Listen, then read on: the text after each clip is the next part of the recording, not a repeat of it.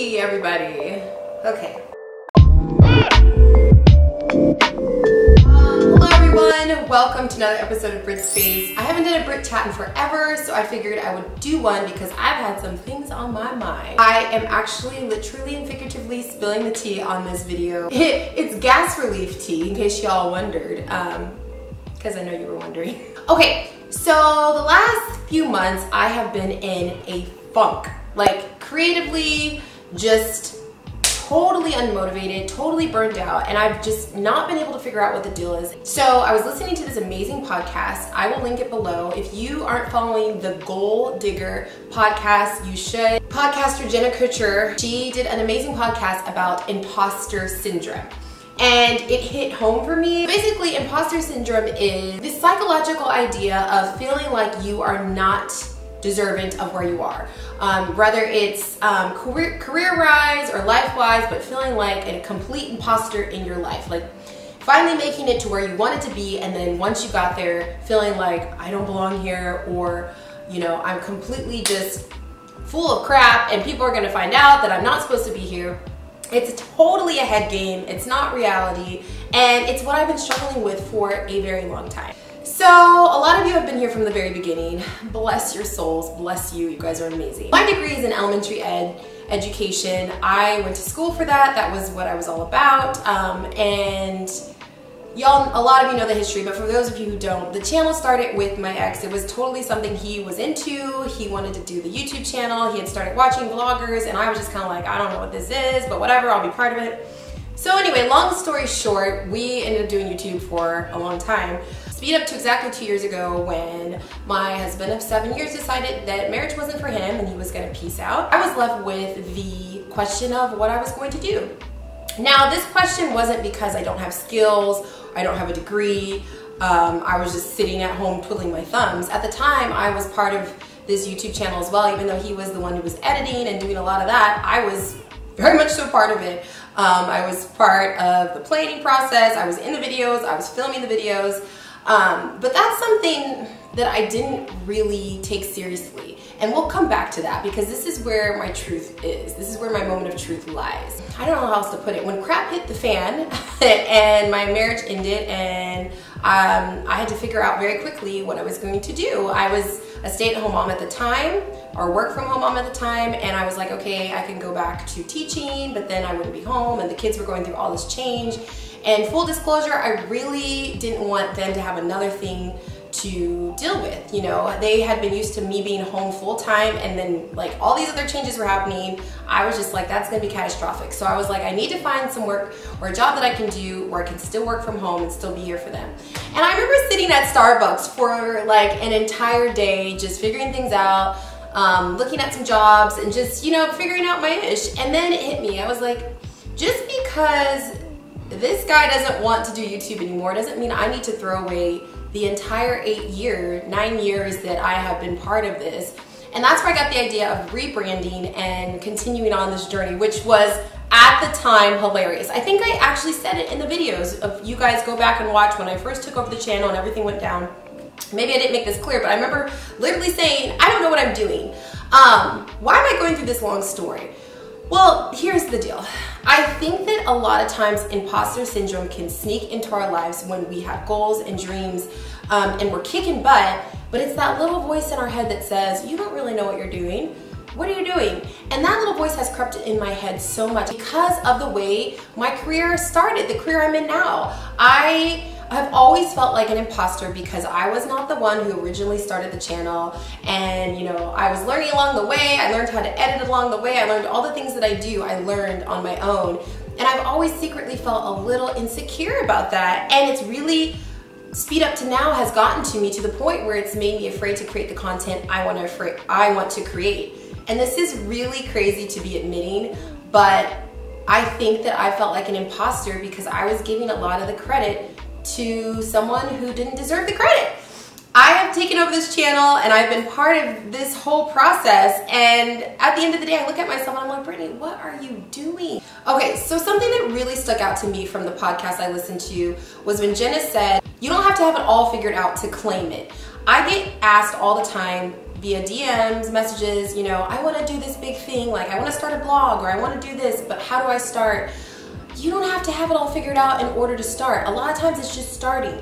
Um, the one thing that really was good for me when I started this journey that I've been on is I didn't have time to sit and analyze it. I was like, I need to figure ish out now and I need to do it and I need to jump in. And that's what I did. Did I know what I was doing? No. I didn't even know how to edit, you guys. When I decided to take over the channel and rebrand, I didn't freaking know how to edit. I didn't know how to edit at all. I had no idea what I was doing. I taught myself how to do it. I would stay up late looking at YouTube videos. Um, it was a lot of hustle. It still is a lot of hustle. When I heard in the podcast where she was talking about how she was embarrassed to even introduce herself as a photographer. She had this huge corporate job that she was kind of leaning on, but when she would introduce herself to people, she'd be like, well, I'm kind of a photographer, but not really. Because she was nervous to say she was a photographer because she didn't know everything about it. Guys, I've literally done that for the last two years. I'm cringing now thinking back to the times I've introduced myself and how I've just like, and this isn't me digging on myself, it's just the honest truth. People ask me what I do. I'm always, I've always kind of scrambled. And then like after a while I figured out, okay, I'm gonna say social media content creator because I honestly hate the word influencer. I can make a whole nother video about that. It's just my personal opinion. I do not consider myself an influencer. I consider myself a content creator. Anyway, so I finally, after a while, figured out how to say like somewhat what I do, but it still was like this little chagrin of like, oh, I do this, but it's kind of weird, and like this apologetic crap, honestly. And that was another thing I loved from this podcast was when she said, if you find or have a really hard time introducing yourself with the, the current job you're doing that you or your dream job or maybe you're just getting started sit down and take a moment to just write down who you are, what you do, um, like with I am statements. So I am a mother, I am a photographer, I am a videographer, I am an editor. These are all the things that I am that I have been afraid to say because I just, I don't even know. Like those, that's what I am. That's what I do. That's my job. And I'm really proud of that. Like if you sat down and said, Brittany, are you proud of what you do? I am, but I've always had this weird like, idea that I'm not supposed to be where I am. And I think part of it is in the beginning, when I decided to go on with the channel, full disclosure, in the beginning it was kind of like a time thing. So it was like, okay, this is what I'm gonna figure out, this is what I'm gonna do for the time being. Um, and I put in my head that it was gonna be six months, just so I could, you know, figure things out, get my stuff together. Then once I hit the six month mark and you know I was getting a, a, lot of love still from you guys and people were still watching the videos and I was like okay this is going pretty well I'm still putting out content. Um, one thing I was really afraid of is a lot of the brand partnerships that I had when I was married, I was kind of afraid would just fly out the window. But something shocking happened and turns out when you lose a man and you're by yourself, people actually want to work with you even more. so that head thing was totally like wiped clean. Um, thank God a lot of brands still wanted to work with me and partner with me and there were brands that I truly love and like want to work with as well. As you guys have seen the videos that I do when I do brand partnerships there are always things that I 100% love and want to share with you guys. So why am I sharing all this with you guys this huge ramble fest? It's because I know a lot of you are in the same place. Maybe you want to start a business. Maybe you've been wanting to start a blog. Maybe you just want to start an Instagram account but you feel like you're not an expert and you look around and you're like everyone knows what they're doing and I don't know what I'm doing. Cut that crap out right now. I'm letting you know right now. Just because other people are doing it doesn't mean that there isn't room for one other person. There might be a million people already doing what you're doing, but there's only one of you doing it. And I know that sounds so cliche, but I'm just like, it is the truth. You might not make sense to other people. Other people may not know what you're doing. Think of like 99% of the inventions that we have now.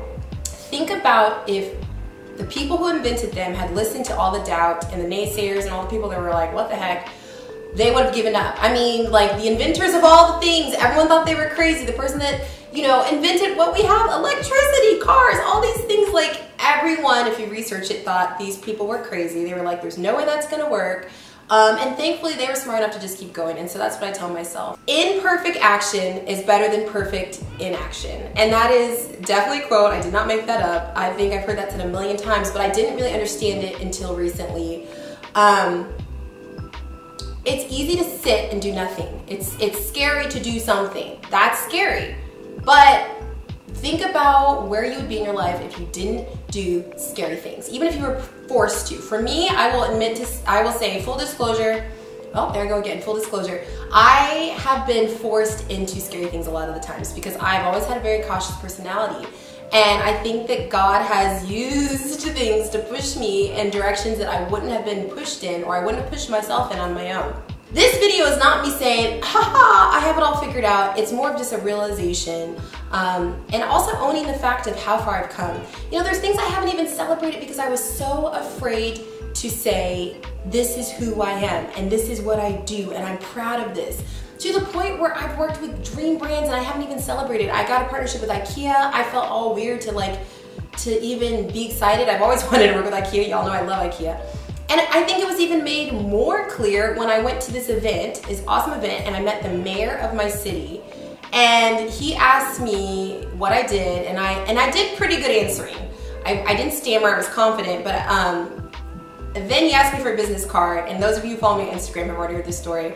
He asked me for a business card, and I didn't have them. And the reason why I didn't have them isn't because I can't get business cards, it's because I think at the end of the day, I've never truly seen myself as legitimate in what I do. Whoa. I've never said that out loud. I've never seen myself as legitimate with what I do for work. I've always kind of looked down on it. I've always kind of chagrined. I've always kind of said like, oh, I just kind of fell into this. Instead of being like, Brittany, you are a content creator. You're a kick butt content creator. You do great. You have really creative ideas. Do you know everything? No, but if you don't know something, you'll research it or you'll find someone that does. You are a great encourager. You encourage people. That's kind of your thing, and that's fun. You love connecting with people. That's your thing. You love that. I don't know why I've been afraid to say this for so long, but I feel like this is my calling. I, I spend a lot of time praying and being like, God, is this what you want me to do? And I feel like He's like, Brittany, this is what I want you to do. I've told you this already. I've been telling you this for years. And you are the one who hasn't listened. So Anyway, anyway, that's my Ramble Fest. I would love to read more in the comments on what you're struggling with. If you've dealt with imposter syndrome, if you're currently dealing with it. Hi friends, I'm filming a video and I'm not done. This is also just kind of reality. Hello. Hello.